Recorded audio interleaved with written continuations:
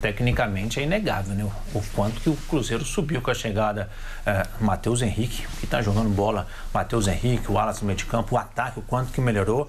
Mas os gols que a gente viu contra o Botafogo, passam muito pelo treino, né? Não, que é, é, é, saída rápida, é inversão de bola o tempo todo. Isso é, isso é treinador. Isso é treino. Isso é o trabalho do treinador. Isso é o que o pessoal chama de. É o dedo do técnico, né? Fazendo efeito nos treinamentos. Então, o, o Seabra está fazendo um trabalho excepcional. Ele já havia feito isso no fim da temporada passada, quando assumiu junto com o Paulo Autuori.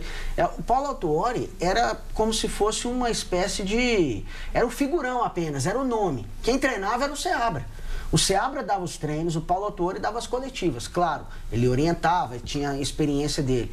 Mas a gente sabe, o Autori não quer ser técnico mais. Ele assumiu um papel de escudo no momento em que o Seabra precisava é, de um escudo justamente para protegê-lo de algumas críticas que pudessem vir. E aí o Seabra sai, porque o Cruzeiro preferiu contratar o Larcamon e depois o Cruzeiro volta com o Seabra, ainda sob desconfiança de muita gente. Só que o trabalho dele é de se elogiar. Ele pegou um Cruzeiro é, em farrapos, depois de tudo que aconteceu, eliminação de Copa do Brasil, perda do Campeonato Mineiro. E ele volta e consegue arrumar o Cruzeiro taticamente, tecnicamente e ganha esses reforços para deixar o time ainda mais forte nesse segundo turno. O Cruzeiro tem muito potencial para ir além só da vaga na Libertadores. Isso no Campeonato Brasileiro, falando em G4.